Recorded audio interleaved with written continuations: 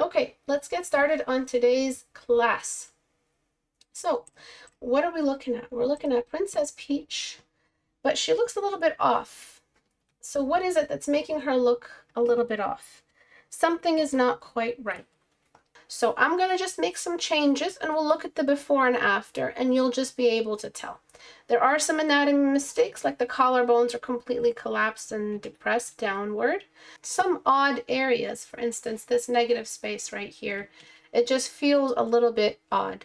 So what I'm going to do is just make these initial corrections with the anatomy, show you the before and after, and then we go from there. Take a look at the neckline here.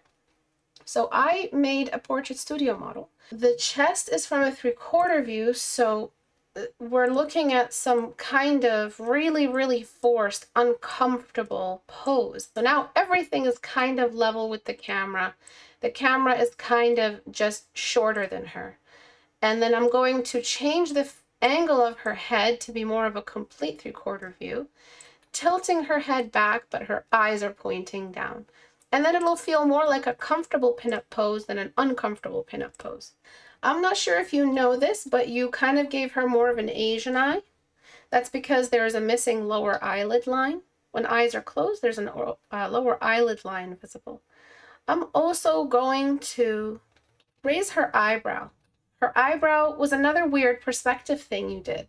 That low eyebrow made it feel like the head was lower, shorter than the camera. So that low eyebrow looks like this. All right, so see how close the eyebrow is to the eye, but when we change the angle, the eyebrow, see how far away it is from the eye now? Small changes, big results. Take a look. Before, after. All I did was use just a little bit of reference to give me the visual cues I need in order to make all of the perspectives now work for the same goal. Let's fix the collarbones, which are completely dislocated. And then there's just the question of how big the head feels. And the body looks so much smaller than the head. You can see how big the head was before. The head was too big. The neck was too wide. The low chest bone structure with the low collarbones made it look like a masculine shoulder line. Do you see how it looks like a muscular guy's shoulder line? Because they're so low, they're almost hinting that there's pecs here. And then the, the, the three-quarter view was just a little bit off. There were no cheekbones. Even though you were telling stories about this cheekbone and how high it is and how much definition it's got and how much highlight it's got, take a look. You know, it, it makes everything look uncanny and you're already going for a pinup. So you're already on a tightrope walk. Do you see how manly it looked? Anybody can come back and say, oh, what's wrong with it looking manly while also wearing a dress? Nothing, absolutely nothing, but I don't think that this is what this person was aiming for. Um, another thing is the bulk, her general bulkiness of the body. Another field of eggshells I have to walk around. I'm not sure if you were aiming for a heavier set woman. Um, and a heavier set woman has a lot less definition, which is really similar to what you did. Do you see how big the chest felt? It felt like a bigger bust, not boob big, fat big, chest fat. Chest fat is different from breast fat. Breast fat is still there. Not, it's not fat anymore. It's something else. Breast fat is still there when you're thin. However, chest fat is very different from having big breasts. It's just more of the, the size and the girth of the chest line. One more thing about the neckline is the back of the neck. So she's got this huge body of hair. She's got all of this um, jewelry and none of it, none of it is stacking in front of the face. Not even the, the baubles of the ears. Not even those. So that's a problem. Again, before, after. Now do you see the difference? Before, after. Very big head, bulky chest, large chest bones and collarbones that are out of scale with the body type, bigger chest, more chest fat, making it basically uh, look like a man, a, a heavier man wearing a dress. And I'm also going to address this annoyance, which is the fact that the background isn't visible for some reason through the arm loop. You need that to be visible so you can get an appropriate estimation of your of your silhouette. I think this gigantic Dragon Ball Z Super Saiyan 5 little hair wing, I don't know if she actually has this or not. That gigantic horn you had before was so huge. If you can't tell how huge it was, I'll show you. I'm going to completely color it in. And this is another trick that you guys can learn. I'm also going to color in the face and color in the general area of the breasts. Three of two focal points that are really important. And then I'm going to hide the background. They are all the same size. This is so unimportant and so irrelevant. What business does this have in being that big? Shrink it out of the way so that the two focal points that are sharing those that line of sight, that line of vision are equal to each other. You see what I'm saying? So there was no point for that gigantic horn to be that big. Before, after, before, after. When this thing is gone, suddenly our eyes are back to her eyes. And we're just more focused on her face.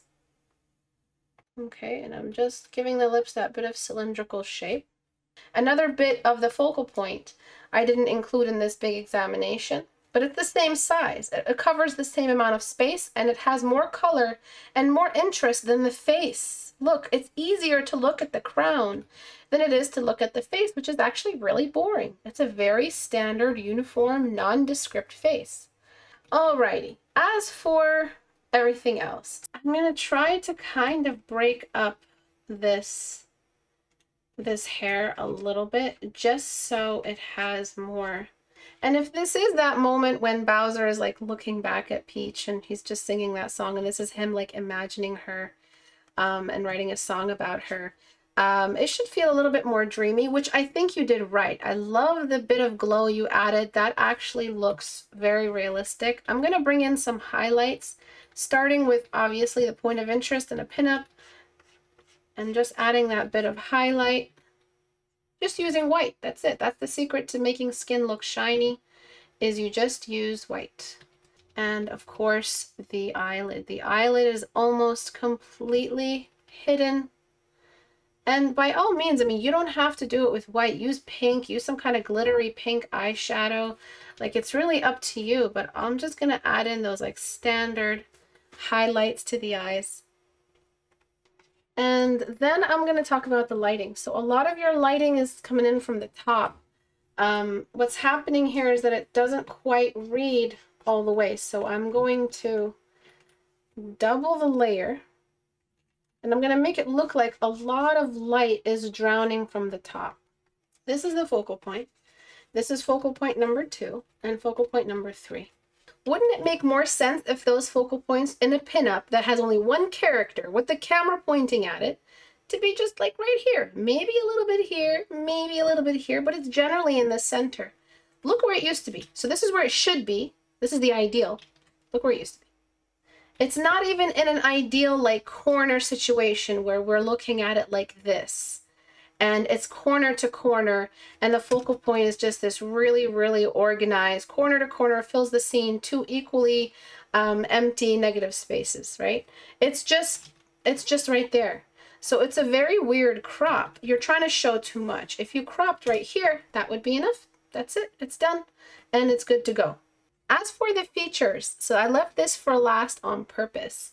Um, I recommend just doing the basic ones. You want more likes, I recommend doing those basic features. So a slightly smaller nose, slightly, and slightly bigger eyes. You don't have to actually increase the range, you just have to, or scale, you just have to expand on the inner and outer corners. And just the general chin size, and it goes a long way. Just doing those small things. See those?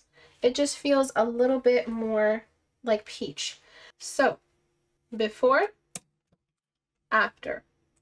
So remember I separated the critique with anatomy and perspective from the critique about lighting and color. Okay, I separated those two. I'm actually trying to explain what I'm doing.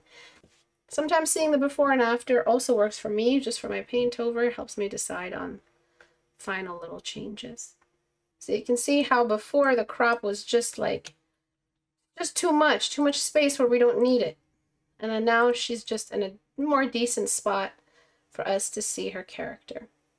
Thank you all for watching. I really appreciate you guys coming to the live streams.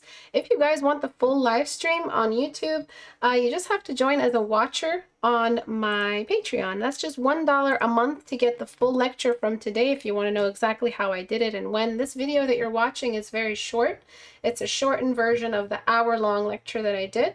So please join us on Patreon. It's just patreon.com slash Thank you everyone for coming today. Uh, please head over to the Reddit, go to istebrak.com and click on the subreddit icon here to join us for our community design challenge. The winner gets Portrait Studio, which you saw me use today. By the way, that's on sale and you can get it on my store right now. It's going to be on sale for a little while for the summer. Um, you also get my masterclass, which is a full masterclass, how to paint a face. The three-quarter view masterclass will be happening very, very soon. I might release it in the fall. Um, it'll be the same caliber of class with the same amount of information, uh, but for a three-quarter view, how to successfully stack, rotate, all of that, keep the, the, the, the square looking like a cube, etc. Um, and please go to my Discord community. There's a little side quest uh, environment challenge that's there. I'm not going to tell you what it is. You're going to have to go to the Discord server to see it. Bye, guys.